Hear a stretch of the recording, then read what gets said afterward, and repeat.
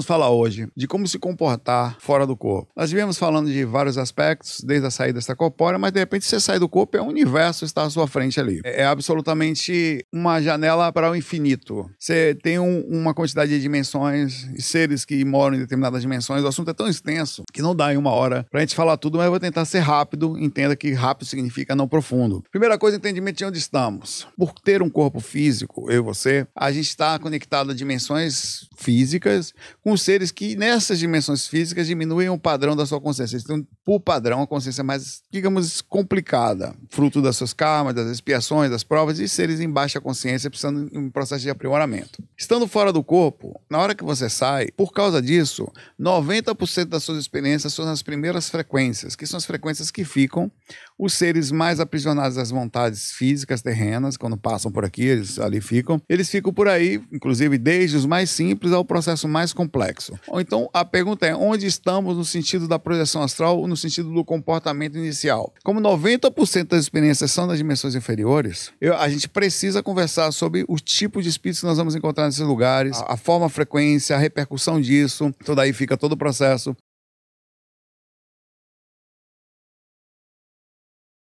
Espíritos. Essa, essa noite, eu tive uma experiência hoje que eu não queria nem contar para ela, de tão energeticamente eu, eu tinha acabado de gravar um vídeo sobre frequência. É, e eu fui deitar um pouco assim, percebendo uma influência muito forte sobre a gente, o que é normal, sobre mim. Tá? Eu tava deitado tal, até que eu levantei em catalepsia projetiva. E nisso tinha um espírito de um. Parecia uma mistura de criança. Era uma criança com cabeça de velha. É um negócio agradável, né, Paulo?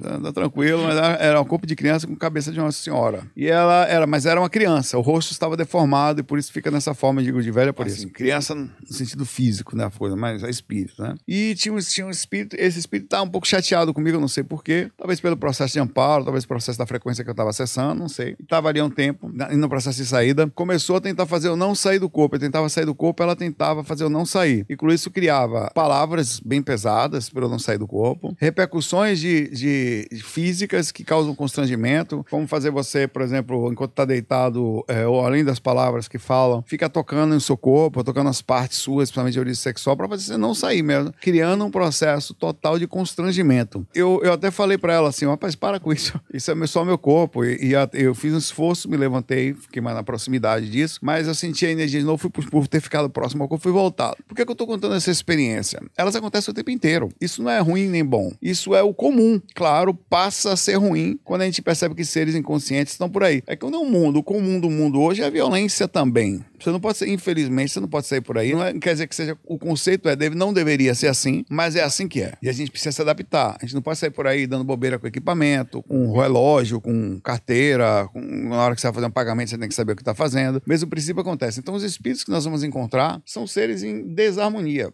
E às vezes, por fato de você estar tá saindo sempre, fazendo trabalhos como esse, abrir consciências, eles, inclusive, eu vou falar sobre as frequências, eles ficam o tempo inteiro ali. Como se comportar numa situação dessa?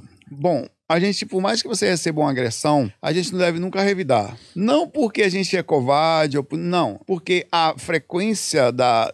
Uma agressão ela não é só física, ela é verbal. Quando você recebe uma agressão verbal, há de entender que qualquer ser ou qualquer pessoa que lhe agride, de qualquer origem que for, ele não está bem. Se você faz a mesma coisa, justificando que alguém lhe agrediu e com isso você retorna, naquele exato momento você passou a não estar bem mais. Você perdeu o foco do seu equilíbrio e começou a agir da mesma forma. Então, estar fora do corpo e fazer isso não é fácil, mas foi isso que eu fiz. Eu estava em catalepsia projetiva na paralisia do sono, então eu, não, eu tentei não agredir nem verbalmente, eu tentei argumentar com esse ser que ela estava, que não era o correto a ser feito, mas eu, eu também sou responsável, não só pelo princípio de, às vezes, sentir o magnetismo e não conseguir sair, que é muito difícil, nós somos seres humanos, nós somos, nos esforçamos, mas não. Então, eu eu tento me comportar no físico bem para que isso não aconteça. Mas eventualmente acontece. E eu preciso aprender a me comportar. E eu, o meu pensamento é categoriza esse espírito como um ser doente, como uma pessoa que me agredir, eu também categorizo da mesma forma, e não deixe de ter minha vida ou tentar ter o meu padrão. Né? O meu padrão é, tendo consciência disso, eu sou mais responsável das situações. Então, espíritos, velho, eles, eles têm espírito dentro da casa da gente. Casa, entre aspas, não é sua casa, é outra dimensão. Ele está acessando frequências dentro do seu ambiente, onde está naquele, entre aspas, espaço, mas mas em outra frequência. Então não é mais sua casa. Então tem desde a sua casa, espíritos em zona de conforto, espíritos por consequência daquilo que você faz, como acontece muitas vezes com a gente, espíritos familiares. Você tem que sair do corpo. Eu sei porque eu fiz errado e hoje eu sei o certo. Então, por mais que você também tenha a oportunidade de errar, precisa lhe falar qual é o certo. Se tiver um espírito no quarto da sua irmã, no quarto da sua mãe, obsessor, não tire. Ah, não sei, não.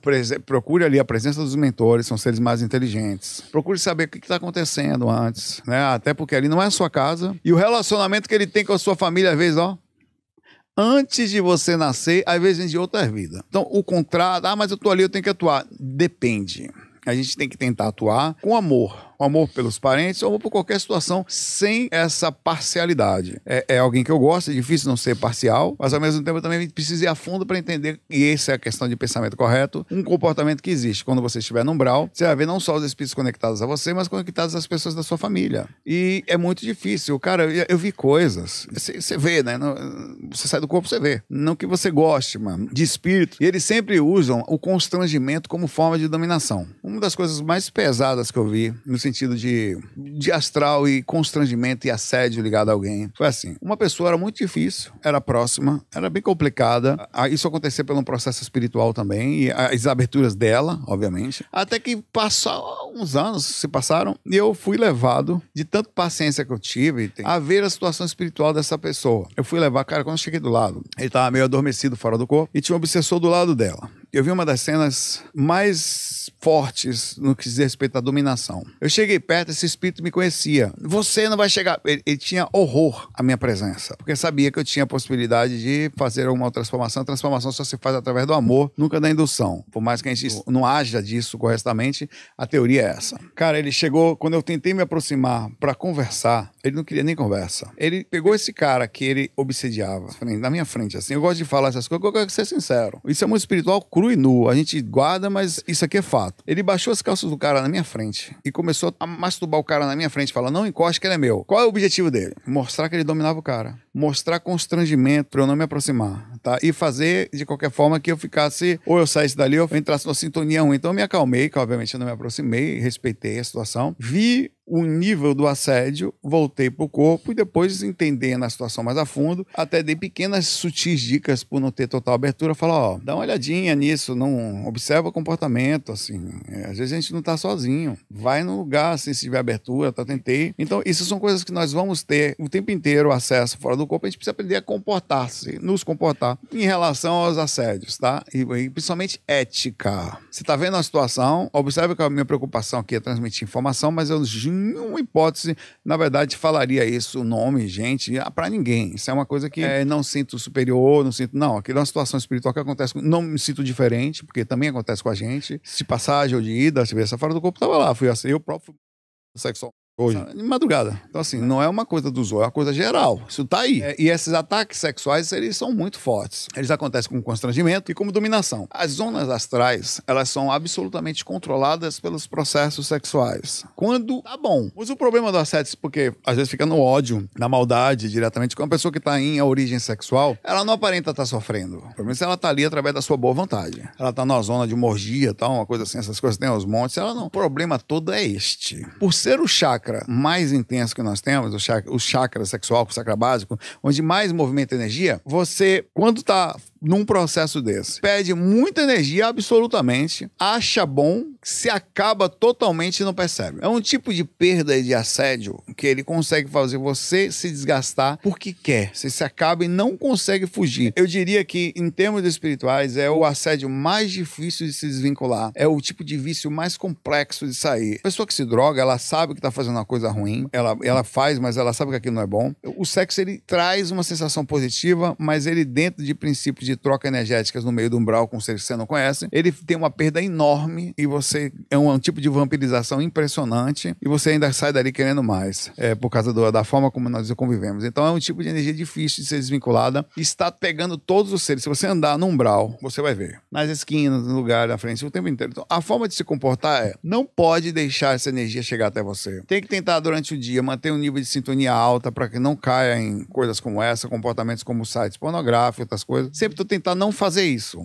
Lógico que nós não somos perfeitos, mas é, é aí que mora o processo. É um tipo de energia que não dá facilmente para sair. E o comportamento é: permita estar tá lá na situação, não dê bola, passa, foca no amparo, foca no amor. Observa esses seres como seres que estão. Eles não vão parecer estar sofrendo, eles ficam meio sexualizados, com as genitais deformadas, e transmitem roupas e imagens para você o tempo inteiro. E é como se estivesse passando na Vale da Tentação no maior possível. Tem outras coisas que podem acontecer dentro das suas próprias visões de mundo, digamos digamos assim, no, que precisa aprender a se comportar constantemente nisso. Tem os espíritos nervosos, eu estou falando dos espíritos, tá? Estes são até fáceis, porque esses espíritos eles mostram que estão desarmonizados. Então é, é difícil, eles às vezes estão deformados, fruto do seu próprio comportamento no astral, fruto de uma intenção. A intimidação é uma intenção verdadeira do astral, como aqui também é. Aqui a gente só respeita a polícia porque anda armada. A gente só respeita o Estado porque é poderoso. Então nós só respeitamos as leis de trânsito porque tem multa, tem câmera. Se não tivesse câmera de radar, ninguém respeitaria. Aliás, como já não respeita em muitos aspectos. Então a intimidação é um fato aqui. Então seres eles mandam, são bravos, são nervosos, demonstram aparências tenebrosas, são endemoniados. Isso é uma, uma ação natural. A força, o tamanho, a forma como você se porta, ela causa uma reação. Essa reação no astral ela acontece o tempo inteiro. Você não pode se intimidar por isso, ao mesmo tempo não é para correr atrás e brigar não. O foco é o seguinte: isso é um fato e a gente precisa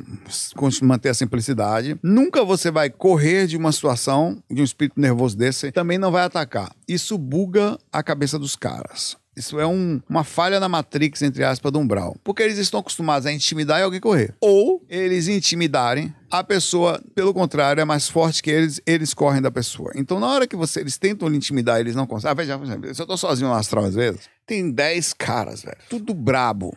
Parte pra cima de mim, eu podia contar N relatos. Contar alguns.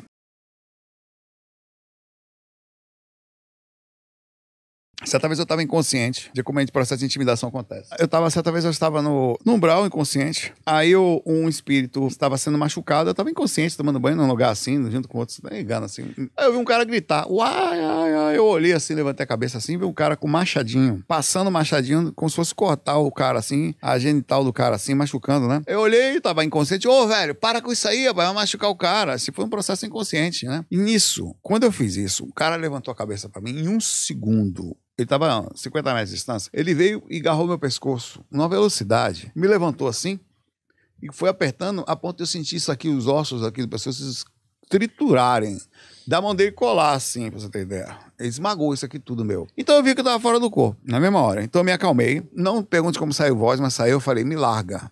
Ah, ele joga uma indução, mas na verdade aquilo não tá acontecendo, né? É uma mistura de peso, mas não danifica seu corpo astral. Aí eu falei, aí ele não largou. Cara, eu peguei essa minha mão aqui, dei uma pancada nele aqui. Eu não sou de fazer isso, mas ali eu tinha acabado de despertar a consciência e tinha sido abordado. Que eu usei de violência até de abordagem assim, né? Uma pancada tão forte. A mesma energia que eles querem roubar da gente, a gente pode usar para isso também, mas por isso tem que saber usar. Que ele voou uma distância, ele, ele, ele não voou e caiu, não. Ele voou reto.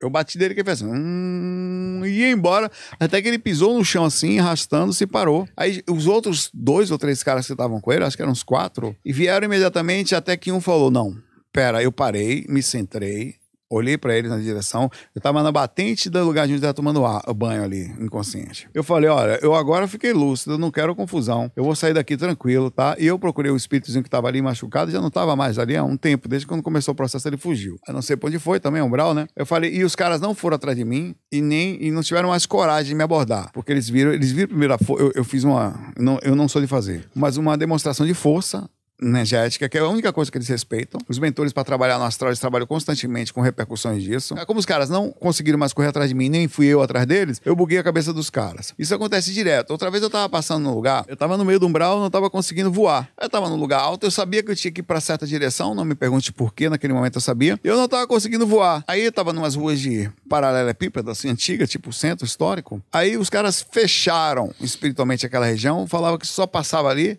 quem eles queriam, tal, eles cobravam pedágio, que eu não sei o que, que é que eles cobravam. Eu falei assim, velho, eu preciso passar aí. Eu não tô conseguindo passar voando, tô lúcido. Aí ele falou, não, aqui só passa pagando. Aí eu, eu falei, olha, eu não quero confusão. Eu falei, mas eu vou passar aqui, tá? Só um cantinho aí, vocês ficam. Olha, eu não me meti com o que eles estavam fazendo. Eu não, tava, eu não disse pra eles que estava certo ou errado. A compreensão do buraco onde nós vivemos, tá? Eu só quero passar. Eu ainda peitei os caras nesse sentido. Aí vieram pra cima de mim, eu parei. Veio uma turma pra cima de mim. Eu parei na mesma hora, olhei pra eles assim e falei: olha, eu tô lúcido, eu não quero confusão. Então, Lúcio, assim, eu sei que eu estou, eu tenho um corpo, eu sei que eu tô encarnado, eu sei que eu tô fora do corpo. Aí o cara falar assim: olha, deixa, deixa, deixa, deixa. Só vai passar agora porque a gente permitiu. Aí eles assim, para não ficar por baixo, né? Eles estavam numa situação de controle, eles viram que seria problema mexer. Então, observe assim: a forma de se comportar é: nós temos que entender que eles são intimidadores, mas ao mesmo tempo não se deixar intimidar, mas não atacar também. Quando você mantém este padrão, seu mentor consegue chegar perto de você e atuar com você. Para você ter ideia, uma certa vez eu estava fazendo um amparo, foi uma, uma das poucas, acho que as duas vezes eu só fui fazer isso. Saí do corpo, fui na região no meio do umbral pesado. Eu peguei um espírito que estava preso, tirei ele de lá e levei nas costas. E com isso eu recebi um ataque violento de vários, né? Eu estava calmo, com eles, uma galera, rapaz, uns 20 caras mais, assim, tentando me pegar, e eu com o espírito que eu tinha regastado nas minhas costas, assim, segurando ele assim, que ele tava meio né, machucado, tava preso no lugar. Eu não tive o que fazer. Aí veio um correndo. Enquanto eu pedi um mentor para tirar ele dali das minhas costas, que eu não sabia o que ia fazer, um veio, um voou. O que, que ele fez? Ele ainda não tinha visto a intimidação. Ele voou na minha direção, numa distância de uns 20 metros, voou. Aí eu falei, eu pensei, não vou atacar o cara, mas eu não tinha o que fazer. Então eu peguei minha própria energia, na força que ele veio, eu levantei a mão aqui assim, e ele desviou na mesma hora pela energia que eu joguei, e a sua própria força jogou para longe. Eu não usei a minha força para machucar eles, assim, o processo astral. Automaticamente, todos os outros caras que ali estavam se afastaram e ficaram meio assim, ainda continuavam me cercando como se fosse um bicho, xingando, falando palavras, dizendo que ia me matar, que ia... essas coisas todas de intimidação. E eu falar, e eu não me ouvindo, eu tava prestando atenção no, no rapaz, aí pedi aos mentores para tirar ele daqui até que ele sumiu das minhas costas. O rapaz foi ajudado. E aí eu pensei, voltar pro corpo, vou sumir daquela situação. Observa o comportamento. Não usa sua energia para machucar. Não toca nos espíritos. Nunca se você fizer, você entra na frequência dos caras. Esse meu comportamento essa forma de você não se intimidar demora um pouco para você alcançar, mas você alcança. Tem que começar com ele aqui. Ele levou a espíritos até mais inteligentes, que são os assédios inteligentes, que é um tipo de espírito que nós encontramos lá também, que é o próximo tópicozinho, subtópico desse aqui, né? Como se comportar fora do corpo. Ah, vim me procurar. Eles percebendo, eles achavam que. O pensamento dos caras é o seguinte: ele não tem medo, não é verdade. Eu tenho medo. Aliás, eu tenho medo de andar na rua, como eu falo, eu tenho medo de, de parar no sinal, eu tenho medo de, sei lá, tenho medo né, de andar com relógio na rua. A gente tira as coisas de andar com coisas que chama atenção. A gente tira essas coisas, se esconde. Se eu sair na rua ali agora no lugar desse, eu vou botar tudo no buraco qualquer escondido para mínimo chamar a mínima atenção. Esses instrumentos que nós usamos, que são coisas que vão dar notificação, que alguém te liga, você não pede uma ligação. É uma coisa útil. É, até monitora nosso sono e tal, mas no lugar desse não dá para, infelizmente, brincar. E aí eles começaram a me visitar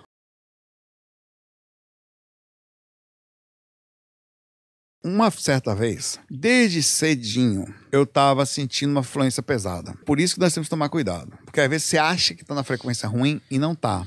Esse espírito era um chefe de um lugar que a gente chama de vale. São regiões mais pesadas, caracterizadas por um padrão, às vezes. Principalmente tem como função prender espíritos densos que fazem mal de um nível muito alto, fizeram, e ali estão pagando seu karma, entre aspas, pela punição existente no umbral, que não é leve, e, e essas regiões. Esse espírito ele se conectou a mim desde cedo. Aconteceu umas três vezes isso, mas de formas diferentes. E eu passei o dia estranho. Eu passei o dia meio no umbral, assim, caraca, que coisa estranha. Pensava nos mentores, nada fazia passar, até que eu falei, ó, vou deixar amanhecer, né? Que o dia hoje tá barril, tem dia que você não tem o que fazer, né? A gente falar na barriga, tá barril dobrado. Até que eu saí do corpo. Um espírito, ele se conectou a mim, perguntando se, falando que desde cedo ele estava me, se conectado a mim, que ele tinha pedido permissão para fazer isso. Onde ele não queria me fazer mal, mas ele precisava baixar minha frequência para eu conseguir vê-lo e acessar o que ele queria que eu visse. Então ele apareceu para mim, ele tinha uma aparência bem forte, mas não era muito assustadora. Ele tava de,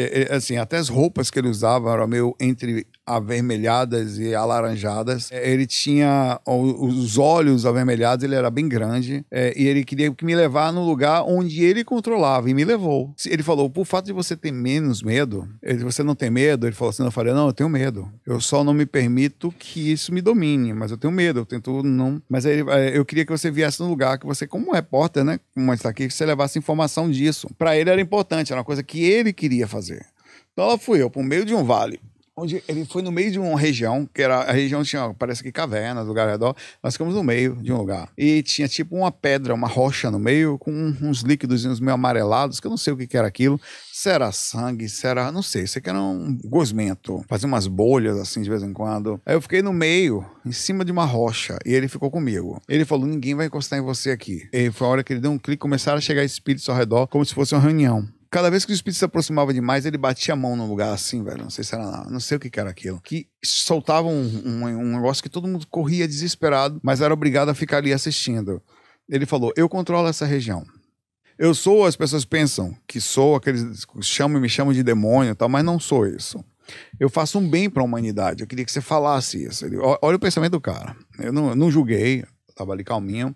A minha intenção não era essa ali julgar aquele momento. A minha intenção é que você avise que eu não estou aqui para fazer o mal. Pelo contrário, eu tô fazendo bem. Eu tô pegando seres que não prestaram. Se deixasse esses seres soltos por aí, eles iam acabar com a humanidade. Eles iam fazer. São energias muito pesadas. Eu tiro eles dessa região. Eu tenho pessoas que trabalham, inclusive, fazendo isso. Trago para cá e os aprisiono aqui. Porque aqui eles vão pagar pelo que eles fizeram. Eu vou garantir que eles vão fazer isso. Então, na cabeça do cara, ele era tipo um urubu do astral, assim, no nível muito alto, tá? Onde ele limpava a carniça mesmo da região. Ele é um animal, o urubu, ele é um animal importante para o equilíbrio da natureza, né? Ele para o ecossistema, digamos assim, da coisa. Então ele quis mandar essa imagem. Lógico que ele, através disso, fazia a sua sentença e tinha um certo prazer pela sentença que fazia. E aparentemente aquele negócio vinha passando de mãos a mãos. Ele tá ali há um tempo, eu não sei o que que acontece. No momento que eu tava ali, eu não julguei, pensei em voltar pro corpo, voltei. Ele me deixou lembrar das coisas todas. Esses caras, velho, eles têm conhecimentos. É o tipo de espírito inteligente que existe no astral. Tem espírito ligado a isso, tem espírito ligado à música, tem espírito ligado à polícia, tem espírito ligado à alimentação, tem espírito ligado a questões de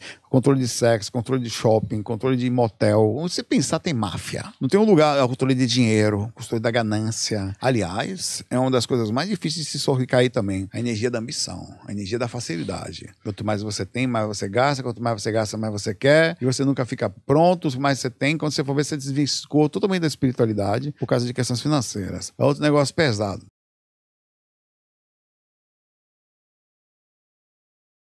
Tem uns espíritos que a gente chama de obsessor, já até comecei falando dele, pé de cama. Aqueles espíritos estão ali do lado da cama, como aconteceu comigo, eles já são nervosos, já sabem o que é, estão o tempo inteiro ali. E nisso tem as, quando está fora do corpo, por causa das assistências que nós fazemos, assistências espirituais, é, as abordagens. Não, como eu falei, não se aborda espírito, mas se conversa com eles. Se tira a informação. Está dentro da sua, entre aspas, casa, aquele outro ambiente. Então, teve a oportunidade de estar com o espírito, pergunta o que, que ele tem. Aí não, não quer dizer que vai, eles vão falar a verdade. Às vezes não vão, não vão falar, vão ficar nervosos, às vezes nem falam, rosnam. Mas aí você tenta abordar para perguntar. A abordagem acontece desde a forma mais simples, que é essa que você está ali fora do corpo. Você tem a oportunidade de saber os bastidores, converse, observe, traga informação ouça as mensagens que chegam na mente dos mentores, porque normalmente nós não nos vemos por causa dessa frequência ali. Então tenta tirar o máximo de informação que você puder dos espíritos que estiverem fora. E as abordagens vão acontecer dentro das assistências. É a principal utilidade da experiência extracorpórea. Quando você está fora do corpo, tendo essa calma mais ou menos, então por que não fazer alguma coisa? Quem somos nós para dizer que não, né? Por que não, não tentar abordar, não tentar fazer algo legal? Então funciona assim. Na hora que você estiver fazendo um processo de amparo, os mentores vão estar com você ali, você não vai ver. Vai ter um espírito numa região específica, numa situação específica, às vezes, você precisa abordar ele. Inclusive, está ligado ao estado de questão de frequência. Como se comportar numa abordagem? Normalmente é assim: você chega no ambiente, o mentor te leva nele, o espírito está aqui um pouquinho na mesma dimensão, mas digamos uma frequência abaixo. Então ele não está lhe vendo. Isso que eu vou falar para você vai acontecer com você como projetor astral pra caramba, principalmente se você ganhar regularidade, tá? Na hora que você fala com o espírito, ô irmão, sempre bom humor, tá? Na mesma hora faz isso aqui, cola. Ele, você desce para a frequência do cara, ele lhe vê, ele lhe enxerga. Nesta hora, vou até coçar a cabeça aqui.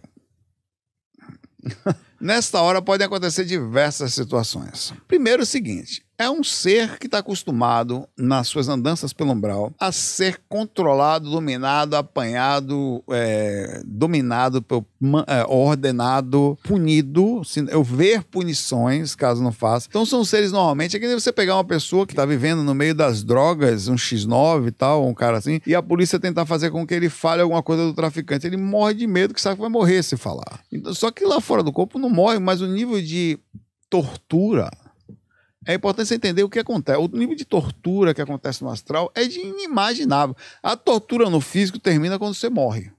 e não demora muito para morrer. Tanto que você não pode torturar quando acontece aqui muito. Quando você tortura aqui, a tortura lá é infinita. O cara corta a cabeça do cara para fora, velho. O cara fica com o estômago para fora. Tem, e fica assim. Tanto que tem várias regiões de ajuda. Tem, tem, os amparadores costumam fazer tendinhas sem julgamento. É um lugarzinho que tem uma luzinha. Você vai ver muito isso fora do corpo também. No livro do Valdo Vieira, Projeções da Consciência, ele está andando no meio do lugar onde, numa praça, ele vê um médicozinho sentado sozinho numa praça. Aí ele vai nesse lugar, os espíritos, os mentorzinhos que são preparados para isso, eles, a intenção deles qual é? É um pronto-socorro não, não, não vai ser, ali está dizendo, você não vai ser ajudado, não tem contato com alto, nada disso. Ali é um lugar onde é ajudado. Então ele entra ali como se fosse um, um socorro é ajudado um pouquinho, ajuda, arruma ali, bota o braço no lugar, dá um passezinho, ali ele sai e volta para um brau dele. Então esses lugares existem aos montes lado de lá. Então esses espíritos estão acostumados com esse tipo de tortura. Então a abordagem é assim. Primeira coisa que ele vai tentar fazer três coisas. Tentar correr, que é o comum, o mais comum. Você chega um ser ali, fala e toma um susto. Ou tentar ir para cima de você com tudo, porque é uma forma de autodefesa. Os animais fazem isso quando encurralados também. É. Ou imediatamente a receber ajuda. Oh, graças a Deus você chegou, eu tô com dor, pelo amor de Deus. Você não sabe qual vai ser. Se tentar correr, você simplesmente vai ir através de. O mentor normalmente vai atuar, mas você pode ajudar. Quanto você ajudar, melhor. Se joga uma energia bem simples para segurar ele ali. Ele não tenta correr, ele se trava na mesma hora, fica, ó, funciona. Então, essa energia é incrível, nossa. A outra, se tentar ir para cima de você, não faz nada. Usa a energia do imã.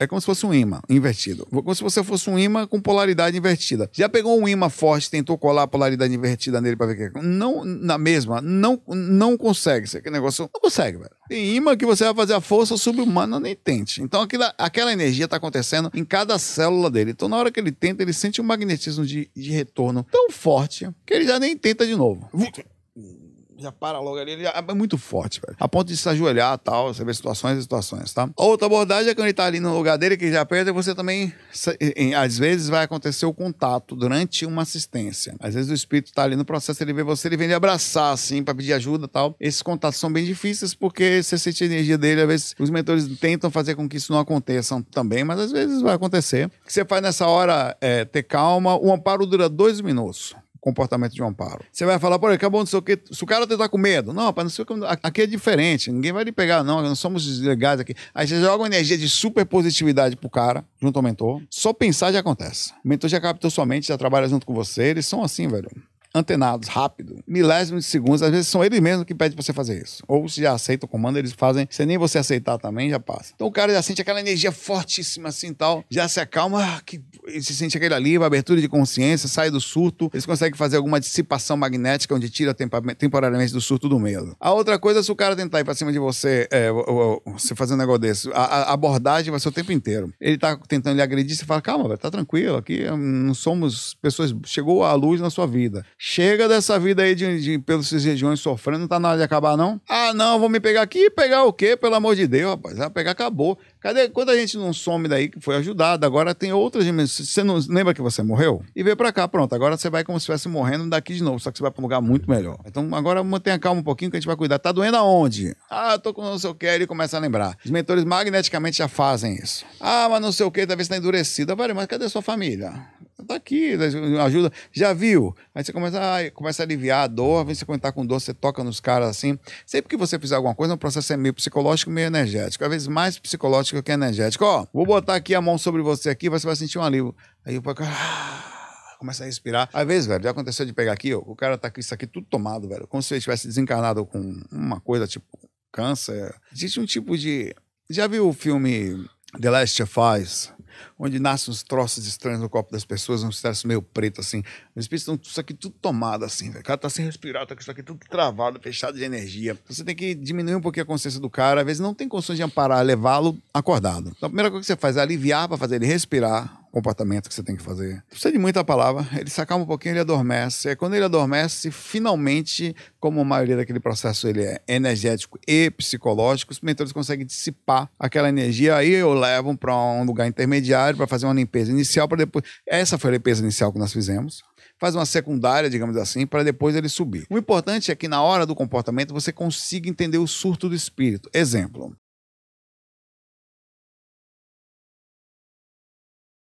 Você talvez estava fora do corpo. Tinha antigamente, há 20 anos atrás mais ou menos, por aí, um Nokia chamado 6120. Era um celular caro, sentia, ele era meio riquinho. Essa menina que eu encontrei fora do corpo era uma, era uma menina tinha o quê? 19 anos, era um pouquinho, minha idade mais ou menos. Ela tinha desencarnado porque não entregou o celular pro bandido. O cara me deu o celular, ela não deu, e ela desencanou e ia repetir: meu celular, meu celular, ainda tô pagando as parcelas. Aí eu tentei abordar ela, mas você, olha, olha como não funciona, velho. Você perdeu seu celular, pra você você morreu. Não, nem morreu. Você perdeu uma coisa importante, seu celular. Meu celular, meu celular, mas você fala, mas Paulo, você desencanou, Paulo. O celular não vai servir para nada. Ah, não sai daqui. Aí o mentor falou assim para mim: bota a mão no bolso. Não mente. Botei a mão no bolso, saiu um 6120 perfeito. Meio não sabia nem que era o celular. Saiu um celular que ela pensava. Eu falei: toma, Paulo. Você pegou? Falei, devolvi tomei seu celular, peguei do bandido e entreguei. Pronto, agora vai receber ajuda, você tá machucada, que tomou um tiro. Aí a menina saiu dali, o que acontece? Você tira ela do surto psicótico do ambiente, ela vai com uma coisa que, entre aspas, nem existe, mas não faz diferença. Até ela sair do surto psicótico, entender que desencanou, que aquilo não existe mais, não existe argumentação naquela hora. Leva-se ela para um hospital, e nesse hospital, ela, ela vai descobrindo, vai aumentando, sai do surto, começa a perceber. Então você tirou ela do surto, saiu do surto, acabou. Uma pessoa que tá nervosa no meio de um bar brigando. Adianta falar, ó, não adianta falar muita coisa. Aquela hora é hora de você usar argumentos que serão funcionar. Rapaz, tá, vem pra cá, segurando sair, tirar. Até que ela sai do surto e de repente, porra, o que, que eu fiz, velho? Aí quando ela vai, refletido do que aconteceu. Então, o processo de ajudar fora do corpo é a mesma coisa. As abordagens são assim. Observe que quanta argumentação eu estava usando, inclusive moralidade, sermão, ou filosofia, ou realidade. Aquilo não existe. Observe que foi muito mais fácil chegar para uma pessoa dessa e entregar a plasmagem, que para ela era importante. Ela saiu do surto e aí finalmente foi para o hospital que ela nem sabia que tinha desencanado. Foi a hora que foi possível fazer alguma coisa, tá?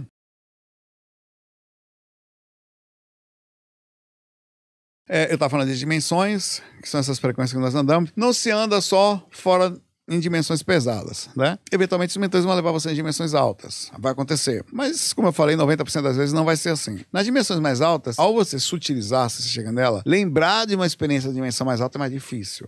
Por isso que, inclusive, tá num lugar alto, com um mentor em qualquer situação, ou uma frequência mais alta, e eles são incríveis, são lindas, velho. Aí vem a beleza dos lugares, o ambiente perfeito, que você vai lugares assim, que são parques de água, os caras moram no meio, eu, eu, já fui em residência, que é no meio do mar, velho. Saía um negócio assim, do meio do mar assim, e ele nunca tinha tido, uma, eu nunca tinha visto isso, nunca tinha tido uma pessoa fora do corpo naquele lugar. Eu me comportei mal. Eu vinha voando, eu vi um negócio sair de dentro da água cheio de vidro. Bonito pra caramba. E vários apartamentos bonitos, assim, redondados. Assim, onde vocês viram que era aquilo? Era uma arquitetura impressionante. No meio do oceano, aliás, quem não moraria no meio do oceano se fosse possível pra fugir da bagunça aqui, do nada vir pra cá, depois voltava pra lá. Uma vista impressionante. Eu tava voando, e o que, que eu fiz? Eu entrei pelo vidro da, de um lugar desse, entrei na janela de uma casa dessa. Entrei e tinha uma estante assim, eu me comportando errado. Mas eu não aguentei, porque era tão incrível aquilo que eu entrei. Nunca um morador um espírito que morava naquele lugar. Ele estava calmo, equilibrado. Ele se assustou com a minha presença. Ele sentiu minha presença na casa. Na memória, foi até a sala. Ele ficou olhando para mim assim. Aí eu falei, calma, calma. Eu, tô... eu tava... Ele tava vendo uns negócios na estante dele que eram incríveis, assim. Eram... Sabe aqueles ambientes que você vai no lugar onde tem umas coisinhas que balançam, as coisinhas de luz, assim. Então eu tava. Eu falei, não, não vou roubar nada. Eu entrei aqui porque se eu sua casa é linda. Eu sou encarnado, eu falei para ele, eu tô fora do corpo. N não fique assustado comigo, não. Eu sei que a casa é sua, não tenho interesse de, de bagunçar. Então, assim, eu me comportei de forma errada, mas eu não consegui não entrar naquela casa. Não faz isso que eu fiz, tá? Tenta agir de forma ética, também fora do corpo. Mas quando o mentor também chegar para você falar, volte pro corpo, volta que é a hora que ele sabe que seu corpo vai ter uma alteração cerebral ou física, e também ele sabe que está na hora certa de se você voltar, que ele vai ajudar você naquele momento a rememorar. Se você passa um pouco mais do que ele falou, a grande chance de você perder a experiência inteira. Não é perder, ela continua existindo, mas você não vai, vai lembrar.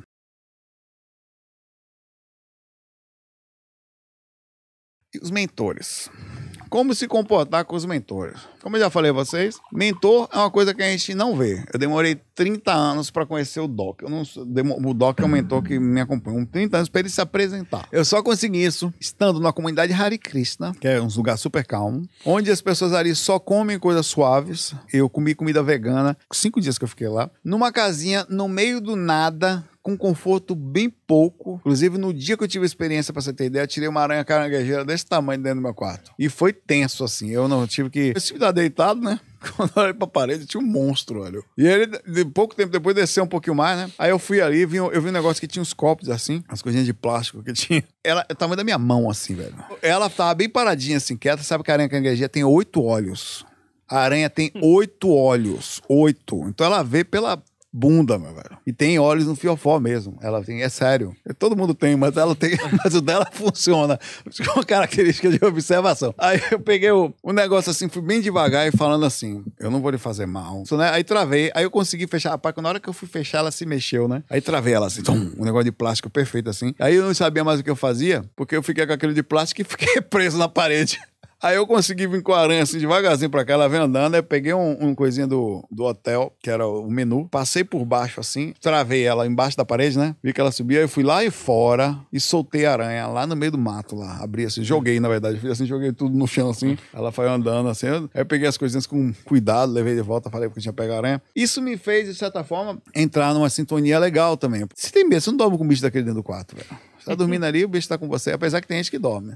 Aí, aí eu, eu, aquilo me fez talvez utilizar bastante, fora no lugar, o respeito pelos animais. O Doc, no final da experiência, inclusive ele, ele aparece com um monte de elemental sobre o corpo dele, um monte de serizinhos brincando com ele. Eram umas crianças, umas fadinhas, tudo voando sobre o corpo dele, assim. Então ele tem uma conexão muito forte com os elementais. Eu nunca tinha visto um mentor conectado a elemental como eu vi o Doc. A forma de se comportar com o mentor é: você não vai vê-los. Quando vê, você nem vai perceber que é mentor. Eles são calmos, são simples, são alegres, são leves leves. Por fato de estar nessa questão de sutilidade, quase sempre você, por fato de não ver, vai estar esse distanciamento que a gente pensa que está distante, mas não está. É uma questão de lógica da saída do processo, tá?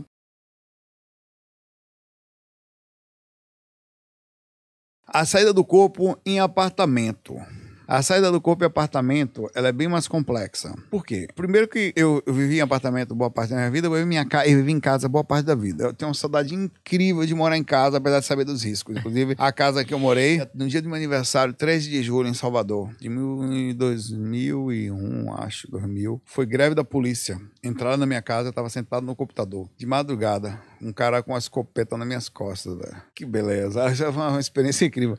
Mas o cara no final foi gente boa comigo. Ah, tá. A casa, você sai, você consegue ir na frente dela e sair voando, velho. Ou consegue olhar a rua, você consegue abrir a porta da sua casa e já tá na rua. No apartamento, não. No apartamento você tem que pegar elevador e escada. E aí entram dois problemas. Ou sair voando pela janela. Sair voando pela janela, normalmente você pode cair. Você decola e começa a cair, depende da frequência que você tá. Então você tem que primeiro fazer um check de como você tá, de pular. Você pula, quando não cai de vez, vai caindo aos poucos. Nem sempre você decola voando. Descer pela escada foi uma das experiências que eu fui, inclusive o meu irmão, André, que faz um, tem um canal aqui sobre TCI e através da transcomunicação, ele começou a fazer experimento nas escadas do prédio e deu certo. Eu não sei porquê os espíritos gostam da escada dos prédios. Talvez seja o lugar onde eles não consigam também transitar pelo elevador. É a única passagem que tem. Então tem espíritos que dominam as escadas e eles se encontram lá. Então descer pelas escadas do prédio, dependendo da frequência, pode ser uma coisa bem pesada. Lembra o filme, aquele filme Eu Sou a Lenda do Will Smith, que aliás vai ter o dois. É, elevador quando você abre a porta, não tem nada ali, ou quando consegue abrir, quando não tem aquele poço, ou quando você entra no elevador, aperta os botões, não funcionam, ou vai para um lugar totalmente diferente, você não sabe qual é. Então eu passei a ter, chegar na sala da minha casa, quando eu ah, tenho a projeção clássica, onde eu levanto encostar minhas mãos assim na minha própria conexão, entrei em contato com os mentores e sair. Então, morar em apartamento tem essa desvantagem de você não conseguir. Isso não quer dizer que está melhor ou pior. Você pode morar na casa, a sua roupa pode ser pesada, dentro de casa pode estar tá difícil, a dimensão, a frequência que você acessou pode estar tá dentro de um processo complexo, mas pelo menos você não sofre. E principalmente se você mora numa casa afastado dos aglomerados das cidades, né, como São Paulo, Recife, Salvador, Rio de Janeiro, enfim, você tem uma qualidade de vida melhor. E a energia do lugar é muito mais complexa. Então, se você consegue isso, você tem uma. Além da própria segurança, normalmente o interior é um pouquinho mais seguro. Você tem uma tranquilidade muito grande de quem mora em casa. É, essas foram algumas dicas de comportamento que a gente tem aqui, que a gente pode até bater um papo mais a fundo, colocando questões sobre o assunto, pois num, num outro assunto aqui, para ver o que, que vocês passam. Sempre que eu falo desse assunto, tem muita pergunta, leva-se a, muita, a, a, a, muito questionamento, mas esse foi o assunto dessa semana, onde a gente pode é, depois aprofundar mais. Mas é importante que você tenha como é, ideia de que sair do corpo é um, é uma coisa, ensina a pessoa a sair. Ah, vamos fazer técnica, e aí agora? Saiu do corpo, e agora? É esse o tema. Como se, é como se um pai estivesse te dando dicas de como se comportar. Menino, olha a rua. É, quando passar no lugar, pede obrigado. Toma cuidado com estranhos, não aceita a comida deles, não acompanha. Então são dicas que são dadas, que a gente também faz isso fora do corpo, mais ou menos do que a gente tem aprendido. E outra coisa é você andar num, num ambiente onde as dimensões mudam o tempo inteiro, onde há uma hostilidade muito forte, seres que tentam nos enganar, aliás, é outro comportamento que você não pode esquecer. O conhecimento de que eles nos enganam e nós somos facilmente enganados. Então, por exemplo, você sai do corpo, quase quase todo mundo está inconsciente. Não sai. Os espíritos sabem disso. Eles sabem que eles podem se passar por uma namorada, por um namorado, por uma mãe, por um pai, por um filho, enfim, um amigo, uma pessoa que se admira. Fazer aquela autoimagem psicológica jogando para você na sua mente a ideia de que eles são, você fica meio inconsciente assim e você aceita para puxar suas energias. As nossas energias são importantes para eles, inclusive o comércio energético no astral, que é através desse processo energético que eles têm poderes, através da energia da matéria, energia de açougue, energia de gente, coisas que nós fazemos. Assim como aqui também, o poder que dá no físico é a questão financeira. Quem tem dinheiro aqui tem poder, consegue fazer coisas. Lá no astral, o poder é energia. Então, os espíritos mais poderosos, eles conseguem manipular muita gente pelo princípio disso. Então, os espíritos vão estar o tempo inteiro tentando te enganar no astral inferior. Não deixa uma coisa que é um comportamento que eu faço. Eu não deixo ninguém chegar perto de mim. Nem, aliás, nem aqui. Você deixa alguém chegar perto de você aqui? O cara chegou perto, você fala, opa, pô, você sai. No máximo no metrô, quando ele dá uma encoxada, né? Mas mesmo assim, você fica cabreiro no metrô. Você não pode, você deixa seu lado no bolso de trás no metrô? Você fica com a mochila dando bobeira pra trás no metrô? Também não. Normalmente você joga ela bota na frente, né? Então a mesma coisa. Esse comportamento precisa estar contido de que fora do corpo não acredite em ninguém. Muita gente fala, Saulo, sonha com você. Saulo, vi você fora do corpo, balela. Não é, é um espírito enganando, tá? Um abraço para vocês, até a próxima semana. Obrigado, Paulo. Obrigado, Caritazinha, tá aqui com a gente. A gente se vê. Muita paz, muita luz, FI. Fui.